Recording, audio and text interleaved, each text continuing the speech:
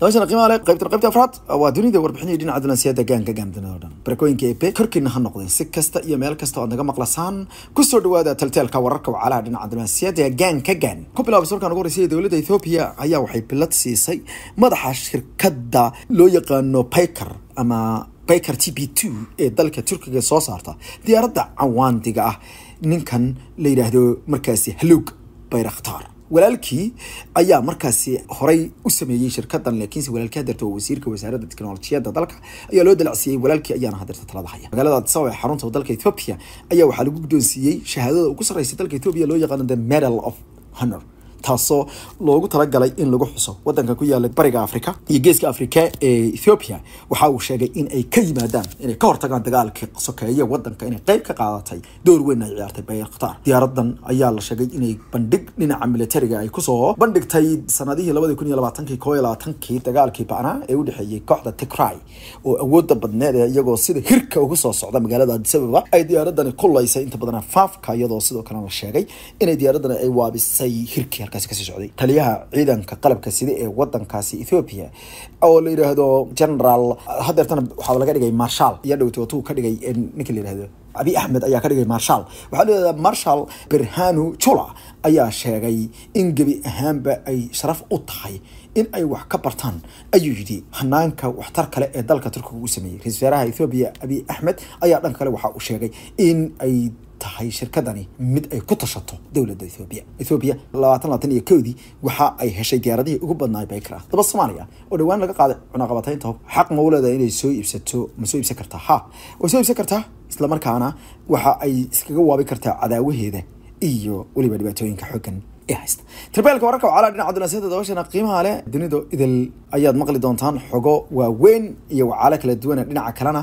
Dowladda maraykanka ayaa markale sheegtay inay ka baaraandegayso waxay ka yeelayso kooxaha taageera. Dhaqdhaqaaqyada iiraan ay taageertay gobolka kadib markay sheegeen inay soo badanayso xiisad maraykanka ayaa la sheegay in madaxweynihiisa ay ku wargeliyeen in weerarada qaarkood laga fiirsado iyadoo ciraaq la sheegay in mucaaradad aada u weyn oo maraykanka ay soo tarayso. Sidaa daraadeedna waxaa la sheegay in laga gabangaabsaday in weerar celis lagu qaado gudaha dalka ciraaq kadib markii la sheegay in dadka ciraaqiyiinta oo berihii ugu dambeeyey midnimo aada xoogan ka muujiyey sida ay u diidan yihiin. Maraykanka ay soo badanayso dhanka kalena waxa ay wararku xaqiijinayaan in xogayaha gaashaandhigga dalka maraykanka meereysanaya gobolka bariga dhexe uu doondoonayo tub kale oo lagaga takhaluso arrintan iyo sidoo kale bar si loo yareeyo khasaaraha. Pentagonka iyo war ay soo saareen waxay sheegeen inaysan iyaga keliya waajibaad ka saarnayn ilaalinta qulqulka maraakiibta. Becsharada sida ee maraya badda gacanka loo yaqaano markaasi rersi oo inta badan isagu shidaalka iyo cuntooyinku ay inta badan u maraan waddamada qaarkood wuxuuna sheegay intaas ay tahay waajib wadareed saaran.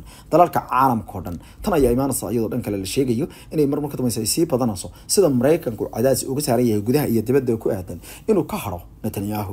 Hase yeeshee dowladda maraykanka oo waxda pentagonka oo la taagnaa dhigkiisa wadankaasi ayaa waxa uu wacad ku maray inay sii wadi doonaan in dhammaan hubka iyo agabka ay u baahan tahay israa'iil laga sii qabtiro. Waan sii wadaynaa. Hubka islamarkaana waana siinaynaa wax kastoo agab nooga baahan yihiin islamarkaana ay si uga adkaadaan cadowgooda.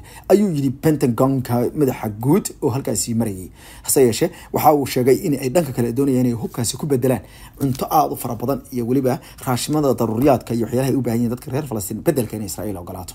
Laakiin maraykanka ayaa hadeertaan ku dhiiran inuu ogolaado xabad joojinta. Taasoo jirta yaamihii ugu dambeeyey waa ay soo badatay duqeynta aadka u ba'an ee kooxda loo yaqaano xisbullah ay ku sameynayso dhinaca waqooyi ee israa'iil. Waa la furay waxaa loo yaqaano markaasi furinta waqooyi. Inkastoo dagaalku kafool kafool uusan hayn haddana laba maalmood ka hor weerar culus oo ay qaaday xisbullah waxaa ku leeday ciidamo badan oo israa'iiliyiina sidoo kalena sideed goobood oo waaweyn ayay weerar ku qaadeen xisbullahi tan iyo intaasna waxaa sii badanayay cadaadska xoogan ee xisbullah lagu saarayo inay dagaalkaasi aysan joojin dowladda dalka faranska ayaa u soo dirtay wasiirkeeda wasaaradda arrimaha dibadda beirut waxayna catherina colona ay la kulantay afayeenka baarlamaanka isagu gacansaar la leh islamarkaana ah qofka matalaya. Iyo weliba ra'isul wasaaraha wadankaasi nabiix baari afayeenka baarlamaanka ee shiiciga ayaa u sheegtay inay ka doonayso inay ku qanciyaan kooxda cutiniinta inaysan dagaalka gelin. Jiha kalena aysan dagaalka kaga furin israa'iil oo hadeerto la dalaadhacaysa bal siday ka yeelayso dagaalka ku daba dheeraaday qase sidoo kalena waxay la kulantay colona wasiirka koowaad ee dalkaasi najima qati kaasoo isaguna sheegay in dhibaato aada xoogan ay ku qabaan duqeynta ka imaanaysa dhinaca israa'iil si kastaba ha noqotee faransiiska ayaa la sheegay in berihii ugu dambeeyey walow uu ku baaqayay si istaba jooga xabad joojin. Bedelka wuxuu xoojiyey taageerada dhinaca military iyo sidoo kale tan diblomaasiyadeed ee uu hubinayo israa'iil isagoo dhowaana gantaal ku riday. Mid ka mid ah diyaarado drones oo ku sii socday dhinaca israa'iil oo uu kaga hortegay kadib markii markab ka soo ruqaansaday dhinaca xeebaha soomaaliya oo soomaaliya ruqsadda siisay gaar ahaan xafiiska madaxweynaha ayaa la sheegay inay taasina timid. Koonfur africa ayaa ku dhawaaqday madaxweynahooda. In gebi ahaanba maxkamad dambiyad la soo saari doono dhammaan caloosha u dhashay koonfur africa ee ka barbar dagaalamaya ciidamada dalkaasi israa'iil. Dhowaan ayaa la ogaaday in ciidamada israa'iil ay ka dhinac dagaalamayaan ciidamo caloosha shaqaystayaala oo afrikaan iyo wadamo kale ka kala yimid kuwaasoo lacag ku qaadanaya inay laayaan dadka reer falastiin. Madaxweyne israa'iil ramaphosa ayaa wuxuu cambaareeyey. Waxa ugu yeedhay xasuuqa halkaasi ka soconaya wuxuuna faray wasaaradda arrimaha dibadda inay go'aan ka soo saarto haddii ay jiraan shakhsiyaad u dhashay koonfur africa oo ka hilbadiriraya dhankaas iyo dhulka falastiin. Ciidamada israel defence force i d f kuwa ka barbar dagaalamaya waxay galeen khalad aada iyo aada u weyn.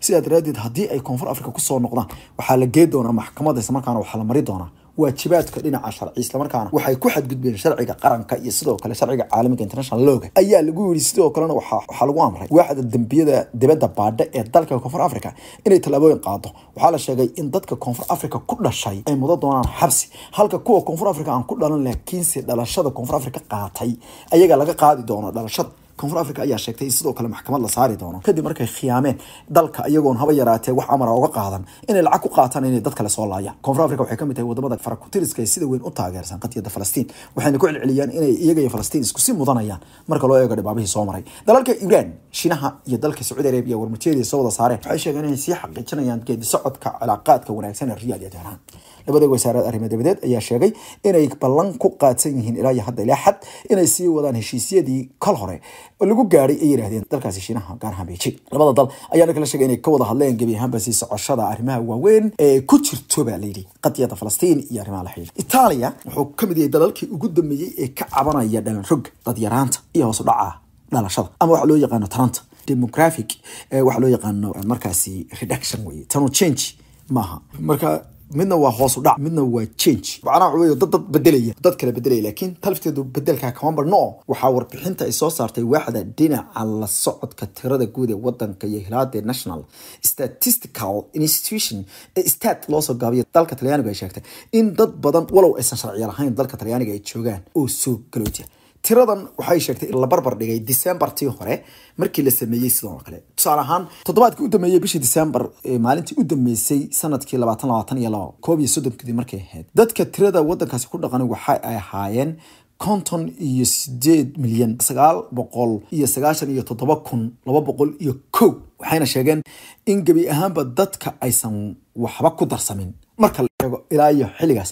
Bal dadkii dhalanayay hoos u dhaceen iyagoo sheegay in tirada guud ee wadanka dadka ku dhaqan boqolkiiba konton dhibic labo ay dumar tahay. Halka boqolkiiba afartan iyo sideed dhibic sideedna ay tahay rag. Taasoo ka dhigan in dumarku ku dhawaad boqolkiiba saddex ay ka badan yihiin dumarka. Sida hadalka loo dhigay. Waxaa staad ay sheegtay inay ka digayso dhibaato weyn oo ay aragtay oo ay sheegtay. Waxay tiri tusaale ahaan waxaan ka digaynaa ayay tiri qof kasta oo ka yar da-da ayay tiri lix jir waxaa ku soo beegmaya ama u dhigma shan qof oo waayeeloobay bay tiri taasoo ay ku tilmaantay inay ku timid hoos u dhaca dadka dhashay. Tusaale ahaan sannadkii labaatan labaatan iyo labo dalka oo dhan waxaa ku dhashay ayaa layidhi saddex boqol iyo sagaashan iyo saddex kun oo qof oo keliya oo caruuraha ku dhalatay.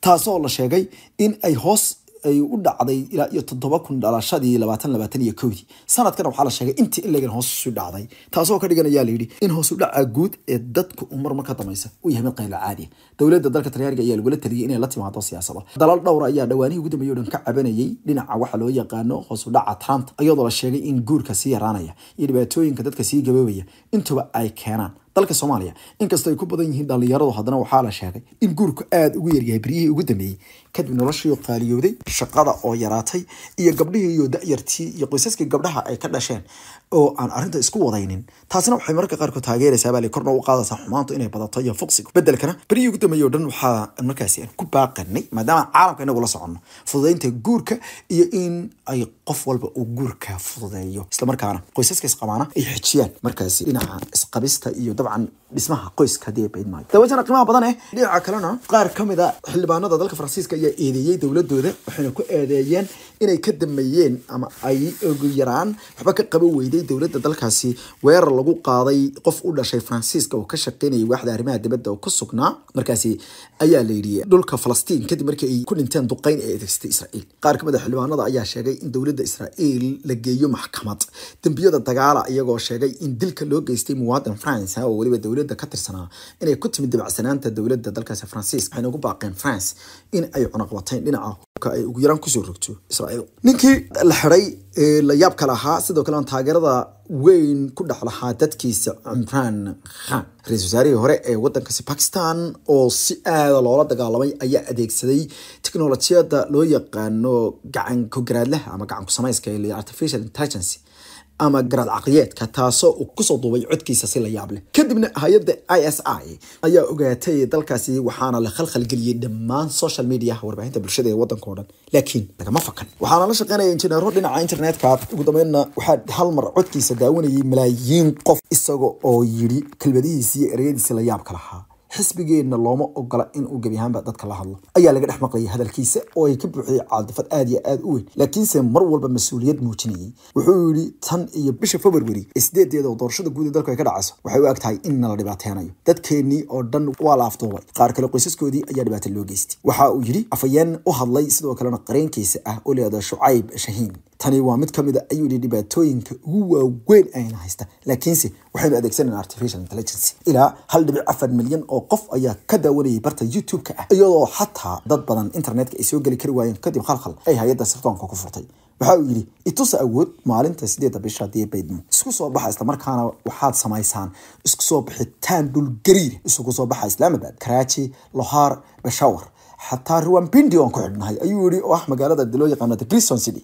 Oo ah military magaalo ay ku hareereysan yihiin islamarkaana ciidanka awooda badan ee dalkaasi ay ninka halkaasi ku hayaan kaasoo dalka maraykanku aaminsan yahay inuu halkaasi uu ku shirqoolay ama ku dhibaatay. Alsiisigii dalka sii ayaa hadda soo xakaakumay isla markaana soo baraarugay. Kadib markuu doorasho keligii uu galay ku adkaaday. Horta goor horeysay. Waxaa qosol leh in gudoomiyaha golaha isugu yeedhay golaha doorashooyinka dalkaasi xasaam badawi uu sheegay in afar iyo afartan milyan iyo toddoba boqol oo kun oo qof ay codkooda dhiibteen kuwaas uu sheegay in ay ka mid ahaayeen lixdan iyo toddobadii milyan ee isku diiwaan geliyey taasoo uu sheegay in boqol iyo lixdan iyo lix dhibic sideed in ka badan ay soo baxeen wuxuuna sheegay in boqolkiiba siddeetan iyo sagaal dhibic lix ay doorteen mr alsisi oo isagu markii saddexaad muddo lix sanadooda isdooranaya si kastaba ha noqotee alsisi ayaa markii uu doorashada ku guuleystay uu soo hadlay isagoo baryihii ugu dambeeyey dadkii la xamanayay inuu dagaalkan qase ku lug leeyahay ka mid ahaa wuxuuna sheegay in dagaalku hadeer uu weji kala yeeshay. Wuxuu ka digay in dagaalku amniga qaranka ee wadankiisa uu halis ku yahay kadib markii sidoo kale la ogaaday in gidaarka philadelphia uu sii muuqdo mid ku sii durqaya siday sheegaysa warbaahinta israa'iil ee maalinlaha ee kaan loo yaqaano si kastaba ha noqotee waxa uu sheegay in amniga qaranka wadankiisa khalkhal aad weyn ugu jiro wuxuuna ka digay inaysan ogolaa doonin qaar ka mid a tallaabooyin ay goosteen ayuu dalyooga qaarkood isagoo xataa tahli waayay inuu israa'iil magaceeda si toosa u sheego. Amaanaal